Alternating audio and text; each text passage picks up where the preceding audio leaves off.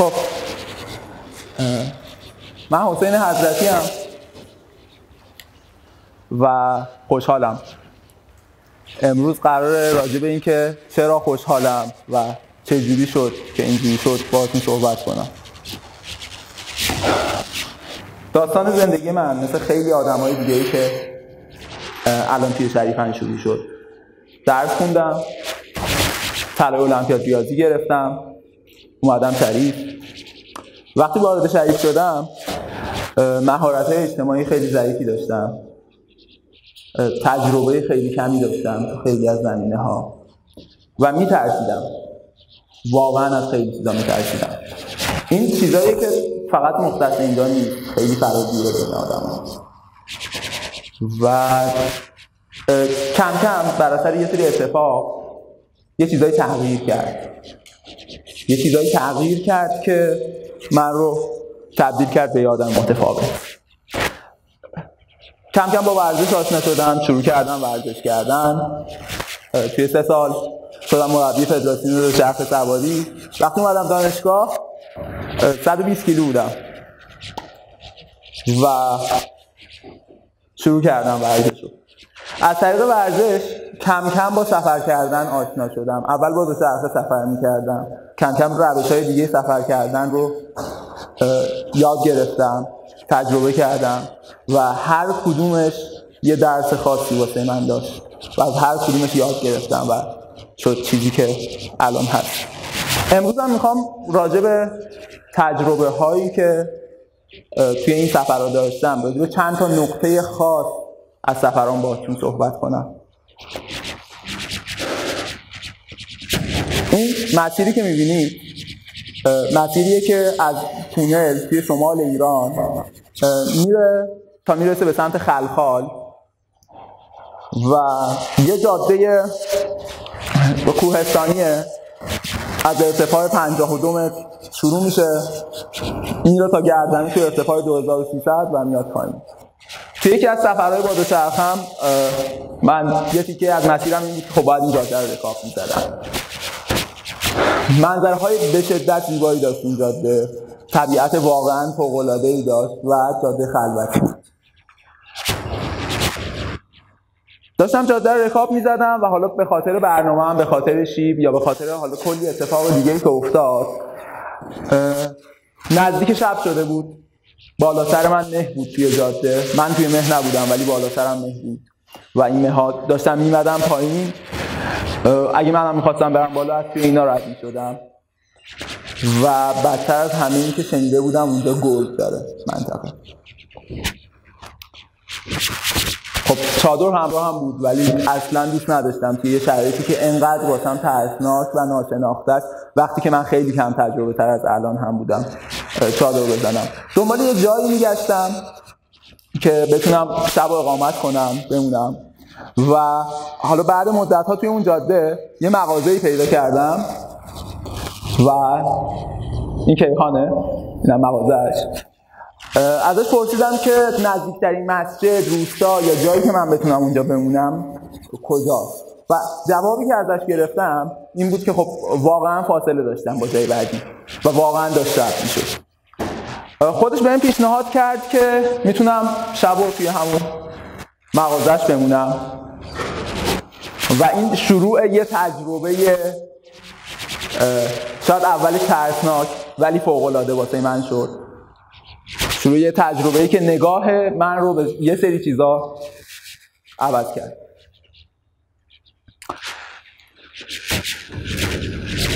یه بار دیگه به قیافه کیهان نگاه کنید. داشتیم صحبت می‌کردیم گپ می‌زدیم و به من گفت حسین تو خلاف چی می‌کنی؟ بعد من اینطوری بودم که فاز چیه؟ یعنی چی؟ من دو چرخ سوارم و اینا. و خیلی خوشحال گفت که من تریاک می‌کشم و دوباره به قیافش دقت کنیم. واسه منی که واسه سیگار همیشه تابو بوده. حالا توی خانواده‌مون و اصلا ندیدم همچین چیزی همچین آدمی نزدیکم ندیدم. کلیشه هایی که توی ذهن من بود چی بود؟ کلیشه هایی که توی ذهن من بود این بود که خب این الان دل رودت رو میریزه بیرون سرتو می‌بره و خلاصه ارزیابی اون لحظه من از این شرایط یه شرایط خیلی خطرناک بود. یعنی نمی‌تونستم درک کنم که یه آدم معتاد یه آدمی که حالا یه نقصی داره توی زندگیش می‌تونه یه آدم خیلی دوست داشتنی خیلی مهربون و خیلی قابل احترام باشه. و تو اون شرایط بود که من باید انتخاب می‌کردم بین گرگ ها و کیهان. و کیهان انتخاب کردم.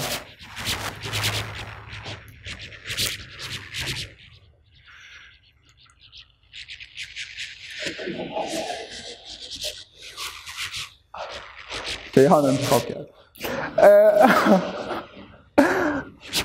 یه چیزی که بعد اون برای من تغییر کرد نگاه هم راجع به همچین آدمایی بود. پر اطراف ما از آدمایی که چاقن ولی هنوز پرخوری می‌کنن. پر اطراف ما از آدمهایی که به گونه دیگه به خودشون به زندگی خودشون دارن آسیب میرسونن. و کاری می‌کنن که اوکی شاید من دوست نداشته باشم یا شاید حتی واسه زندگی خود اون شخص مضر باشه. ولی به هیچ وجه این معنی و این نتیجه رو نمیده که آدم های جانی و خطرناکی هن. آدم که من باید ازشون فاصله بگیرم. شاید یه سری موقع ها صرفا یاد بگیرم که چجوری باشون تعامل کنم. صرفا در همین حد. این اولین درسی بود که من از کیهان یاد گرفتم. درس بعدی که من یاد گرفتم راجع راحت زندگی کردن بود. همیشه یه دغدغه و یه نگرانی خیلی خیلی عظیمی داشتم. این دغدغه‌ای که بعضی وقتا از جنس استراب و استرس شدید میشه واسمون. نه واسه من واسه بقیه آدما.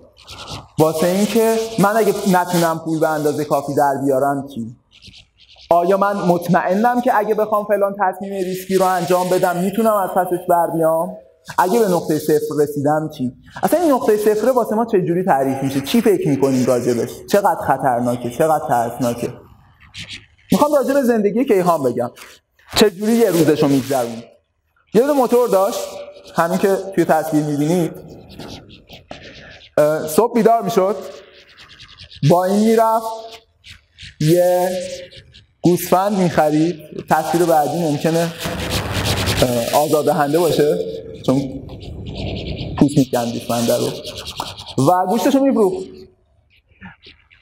کل کاری که می‌کرد توی طول یک روز این بود. یک بار می‌رفت یه گوسفند می‌خرید. پوستش رو می‌کند آویزونش می‌کرد جلوی در مغازش. و این کل اون چیزیه که تو مغازش داره. داخل این اتاقا الان هیچی نیست و کل جنسی که توی مغازش داره همینه. توی یه جاده کم تردد که شاید ساعتی یه دونه یا نیم ساعتی یه دونه مشتری داشت. و میشه خودش توی این اتاق سمت چپیه؟ تریاک می‌کشید و منتظر بود تا صدای ماشین بیاد. اگه صدای یه ماشین میمد که اونجا ترمز کرده میمد جلوی در جنسش رو میفروخت و دوباره برمیگشت سر کارش. و چیز جالبی که من دیدم این بود که این گوسفندی که اون روز گرفته بود به طرز عجیبی تا قبل از ظهر تموم شد و حالا شانس اون روزش اینو سریع خریدن ازش. بهش گفتم که خب برو یه دونه دیگه بگیر یا مثلا چرا نمیری و اینا؟ و دیدم که این اصلا قاعدش همینه. هر روز یه دونه گوسفند میاره و ممکنه این تا قبل ظهر تموم شه. و اصلا تو برنامه زندگیش نیست که بیشتر به دست بیاره. در این حال زندگیش کامل تامین بود. نمیگم زندگی خیلی ایدئالی داشت ولی میگذشت زندگیش. باعث شد اون لول استرابه اون لول نگرانیه همیشه اینجا بیاد که من از لحاظ اقتصادی که از کیهان وزنم بدتر نمیشه. این پشتوانه خیلی از تصمیم‌ها و کارهایی بود که توی زندگیم بعدا انجام دادم. یه چیز دیگه که راجع به همین واسم جذاب بود و کمک کرد بیشتر به آرامش برسم بیشتر عادت کنم و نترسم از اون بیپولیه تجربه هیچایک کردن بود. هیچایک کردن چجوریه؟ حالا اینطوری نمیشینیم کف جاده معمولا وای نیستیم و با ماشین های گذری که هم مسیر با ما سفر می‌کنیم و رایگان. بهشون میگیم که ما هیچایکریم یا ایرانگردیم و بدون پول سفر می‌کنیم. و شاید فکر کنید که خب میشه تو ایران آخه و شده. من گوشه به گوشه ایران رو با همین روش گشتم و نه فقط من. جامعه خیلی بزرگی تشکیل دادن الان هایکرها توی ایران و روز به روز دارن گسترش پیدا می‌کنن و خیلی سبک سفر ساده و کم هزینه و خیلی خوش میگذره. خیلی راحت می‌تونید با محلی ها ارتباط بگیرید. از فرهنگشون یاد بگیرید. از تجربه هاشون استفاده کنید. وقتی شما با یه آدم 40 ساله 50 ساله هم صحبت و هم کلام میشید وقتی که به چشم یه مشتری بهتون نگاه نمی‌کنه به چشم یه رهگذری که یه جورایی دوست خودش می‌دونه بهتون نگاه می‌کنه از تجربه های واقعی زندگیش میگه. و وقتی یه آدم 40 ساله 50 ساله از تجربه های زندگیش میگه شما می‌تونید اصاره یه زندگی 40 50 ساله رو بچشید. این یه تأثیری بود که هیچ هایی من گذاشت و کمکم کرد. برنامه بعدی نقطه دیگه که توی زندگی تغییر ایجاد کرد. قبلش بگم راجع به hitchhike دوباره کمکم کرد که okay اگه من بیپول شدم فقط در حد اینکه هزینه سیر موندن شکمم رو داشته باشم واسم کافیه. و این واقعا به عهد 300 هزار تومن چیزیه که واسه هممون قابل تهیه است. و اصلا کار سختی نیست. و می‌تونیم یه زندگی پر از سفر پر از هیجان پر از تجربه رو داشته باشیم. هرچند که شاید شرایط ایدئال نباشه. سفر بعدی. یه سفری بود توی خطه شمالی کشور. این دفعه دوباره با دوچرخه. شمال کشور همینطوری که می‌بینید شهرها کاملا به هم چسبیدن. سفر رو شروع کردم. رکاب زدم رفتم سمت میانکاله. با این نیت که توی میانکاله که رسیدم اتوبوس می‌گیرم سفرم تموم میشه برمیگردم تهران. میانکاله این شبه جزیره به طول تقریبا 60 کیلومتر. و عرض بین 3 تا 5 کیلومتره. یه منطقه محافظت شده است. نه شهری داره نه جاده ای داره. تو اون زمانی که من توش بودم حتی ماهیگیرا هم نبودم و تو کل این شبه جزیره ده نفر آدم در مجموع نبود با اون سه تا محیطبانی که دم در بودن. رسیدم دم درش. محیطبانی به هم گفت که شرایط چجوریه و اینا. گفتم که خب اوکی پیش میرم ببینم چی میشه دیگه. به هم توضیح دادن که یه جزیره ای هست به اسم آشوراده. اینجا یه کانالی هست بین میانکاله و آشوراده و گفتن که خب اگه جز اومد نباشه آب بالا نباشه در واقع می‌تونی از این کانال رد و مشکلی نیست. و منم شروع کردم رکاب زدن توی میانکاله. دوباره شرایط طوری شد که داشت شب می‌شد. من گفتم خب نمی‌خوام ریسک کنم توی جایی که نمی‌دونم چه جوریه. شبونه اون کانال رو رد کنم قطعا. و خوب کاری کردم. و به طور اتفاقی با محلی آشنا شدم. این دو نفر اونجا دامداری داشتن و همون گاومیش پرورش می‌دادن. و کار می‌کردن اینجا در واقع. شب و پیششون موندم. و فردا صبحش حرکت کردم. حرکت کردم که برم به سمت آشوراده می‌دونستم که از آشوراده قایق وجود داره به بندر ترکمن. و از اونجا هم که خب شهر دیگه. می‌تونستم با اتوبوس برگردم و برنامه هم اونجا تموم شه. حرکت کردم اومدم سمت آشوراده این شهر آشوراده اون کانالی که گفته بودم اینجا هاست و چیزی که توی ذهنم گفتم این بود که خب یه شبه جزیره است. من نوار ساحلی رو می‌گیرم میرم می‌رسم به همون جایی که می‌خوام بالاخره دیگه. نوار ساحلی رو گرفتم اومدم رسیدم به یه جایی اینجا ها تقریبا. کنار ساحل دیگه. و اتفاقی که افتاد این بود. این نقشه هوایی گوگله یعنی تصویری که ماهواره داره می‌گیره. و این تصویر گوگل مپسه می‌بینید یه دفعه این ناپدید میشه و یه قسمت هایی از اینا نیست. در واقع اینجا خاک نبود. این چیزهایی که هست یه سری نیه که از آب زده بیرون و زیرش یه حالت باطلاق مانندی داره. من رفته بودم کنار ساحل تا یه جایی وضعیت خوب بود ولی یه جایی رسیده بودم که شمال خود شهر آشوراده بودم. حدودا دو کیلومتر فاصله داشتم با شهر آشوراده و دور تا دورم هر طرفی می‌خواستم پا بذارم نمیگم پر عمق بود ولی آب بود حداقل. از دور که داشتم نگاه می‌کردم توی این مسیر این وسط یه سری گاومیش می‌دیدم اینه. و نمی‌دونستم که گاو میشا شنا می‌کنن. فکر کردم که خب یه سری گاو دارم می‌بینم که راه دارن میرن. حالا تا یکم هم تو آبن ولی خب کم عمق دیگه. میرم رد میشم. صحنه بعدی چی بود؟ صحنه بعدی این بود که دو هم روی دوشم بود. آب تا سینم اومده بود بالا. یه خاک چسبنده و گلی داشت که هر قدمی که میذاشتم پام گیر می‌کرد تو خاک و باید به زور میکشیدم بیرون. و یه سری نی جلوم بود. این نیا رو کنار می‌زدم برای اینکه ببینم جلوم چه خبره و بتونم برم جلو. در همین حین چیزی که بدتر کرد ماجرا رو این بود که از یه جایی به بعد احساس می‌کردم یه چیزی داره از زیر پام رد میشه. و تمام سناریوهای مختلف توی ذهنم مرور شد. تمساه مار آبیه و خوشبختانه آنتن داشتم. هر اینترنت نداشتم. ولی تونستم زنگ بزنم به اون میزبانایی که دیشب پیششون خوابیده بودم و پرسیدم که اوکی اینجا مار سمی یا چیزی که بخواد اینجا بکشتم وجود نداره.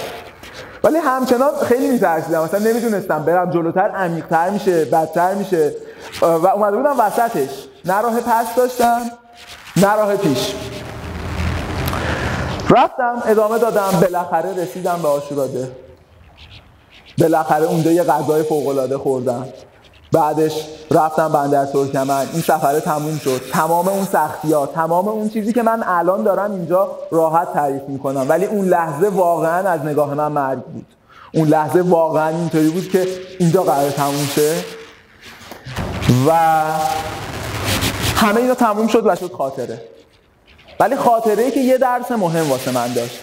ما خیلی از چیزای ناشناخته میترسیم. از چیزهایی که قبلا تجربهش نکردیم از چیزهایی که راجبش اطلاع نداریم. من بعدش هم تجربه های خیلی زیاد اینطوری داشتم. و اینا کم کم کمکم کرد که ترسم از ناشناخته ها کم بشه. ترس از ناشناخته ها چیزیه که جلوی خلاقیت ما رو می‌گیره.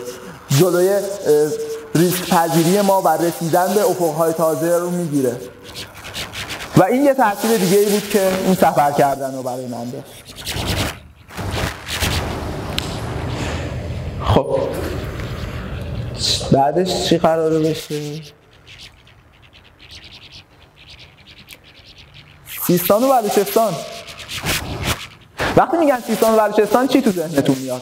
چی فکر می‌کنید؟ این شکلیه؟ یا این شکلیه؟ حتی اگه که آگاهتر باشید راجع به مردمش اینطوری فکر نکنید که اصلا اینطوری نیستن. خیلی راجع به طبیعتش اینطوری فکر می‌کنن. یکی دیگه از چیزایی که این سفر کردنه توی من تغییر داد این بود که به کلیشه هایی که وجود داره اعتماد نکنم. این بود که خیلی کلیشه های ذهنی اشتباهی هست که رایج شده و خیلی با واقعیت تفاوت داره. من سفر کردم با دوباره با دوچرخه. از خراسان جنوبی سفرم شروع شد. اومدم زابل و زاهدان و چابهار و بندر عباس. خب از سیستان و بلوچستان قرار بود رد بشم. قبل از اینکه من سفرمو شروع کنم کل فامیل بسیج شده بودن که منصرفم کنن. امون زنگ می‌زد خبرهای مثلا قتل و اتفاقایی که اونجا افتاده بود و می‌گفت. اون یکی همون زنگ می‌زد مثلا می‌گفت که ناامن سرتو می‌برن اصلا مگه تو دیمونه شدی؟ اونجا چی داره؟ همش بیابونه. من رفتم سفر کردم. سیستان بلوچستان به شدت زیباست. به شدت مردم خوب و مهمون نوازی داره. و یکی از فوقلاده ترین و رویایی ترین تجربه های زندگی من سفر توی این خطه بود. این درخت های گردی که توی مسیر می‌دیدیم حتی قسمت بیابونی مسیر هم یه همچین زیبایی هایی داره. نخلای مهبندان این قلعه ای که حالا الان درسته که اطرافش خشک شده ولی توی ایران ما یه رودخونه ای داشتیم به اسم هامون وسط این رودخونه یه کوهی هست به اسم کوه خاجه و این قلعه بالای اون کوه ساخته شده بوده. و قبلا تنها راه دسترسی به این قلعه با قایق هایی بوده که از آب رودخونه می‌رسیدن به پای کوه و بعد میمدن بالای کوه می‌رفتن روی این قلعه.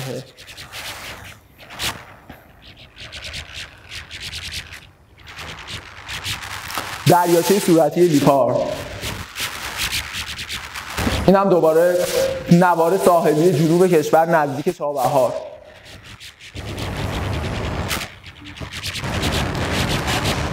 کوههای مریخی سمت بریس دوباره نزدیک چابهار. اینا منظرهای فوق العاده که شما می‌تونید توی سیستان و بلوچستان ببینید. و اما جذابتر از این منظره ها اتفاقی که اونجا میفته جذابتر از این منظره ها مهمون نوازی و محبتی که در عین فقر مردم اونجا دارن. جذابتر از اینا اینه که ما تو این جاده داشتیم رکاب می‌زدیم. جاده ای که شاید توی یه ساعت دو تا ماشین از توش رد نشه. یه دونه وانتی که بار هندونه داشت و خب از سر و معلوم بود که وضع خیلی خوبی نداره. رد شد. واسه ما بوق زد. نگه داشت. چطوری؟ چیکار می‌کنید و گفت من می‌خوام بهتون هندونه بدم. گفتیم دست درد نکنه ممنون نمی‌خواد تعارف زدی. و شروع کرد ریختن پایین. نمیشمرد همینطوری داشت میریخ پایین. بعد ما اینطوری بودیم که بابا با دو چرخه ای چجوری ببریم؟ و نتیجهش این شد که نشستیم همونجا حالا خوردیم. ولی این رفتاره این برخورده همیشه به خاطر من میمونه. و این فقط این رفتار نیست فقط این مورد نیست. توی بقیه سفرام هست. ولی سیستان و بلوچستان واقعا فوق العاده است. یه تجربه دیگهمون. توی یه روستایی بودیم که کلا متاسفانه اون منطقه منطقه فقیریه. من رفتم توی یه سوپرمارکتی شب بود و یه جایی گرفته بودیم. دوستام اونجا بودن. رفتم توی سوپرمارکتی خرید کنم برای اون شب و نیاز مثلا فردام سوپرمارکتی که چی بگم فکر می‌کنم قدر 500 هزار تومن تو کل مغازه جنس نبود و دوباره فقر مشهود بود. بهشون گفتم که غذای محلی بلوچا رو کجا می‌تونیم بخوریم؟ چجوری می‌تونیم تجربهشون کنیم؟ آیا رستورانی چیزی هست؟ بهم گفت که اگه می‌خوای غذای محلی بلوچا رو بخوری باید بیای خونه بلوچا و خیلی جدی با اصرار داشت میکشوندمون که بیاید خونه و شما رو مهمون ما باشید که حالا من گفتم دوستام هستن و نمی‌تونم و فلان. گفت با دوستات بیا و در نهایت نرفت. ولی چیزی که عجیب بود این بود که من خدافزی کردم و خواستم حساب کنم برم. گفتم چقدر میشه؟ گفت هیچی. بعد گفتم خب دارن تعارف می‌کنن دیگه. هر کاری کردم از من پول نگرفت. یه آدم توی اون شرایط نه یه آدم معمولی سوپرمارکت کارش اینه. از من پول نگرفت. و این دوباره واسه من عجیب بود که چقدر این مردم در عین فقر مهمون نواز و با محبت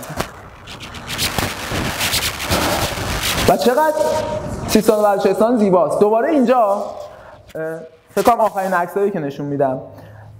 ساحل روستایی به اسم درک توی سیستان و بلوچستان جایی که کبیر به دریا می‌رسه مستقیما کنار دریا کبیره و نخل هست و تو غروب آفتاب شما می‌تونید یه همچین منظره ببینید.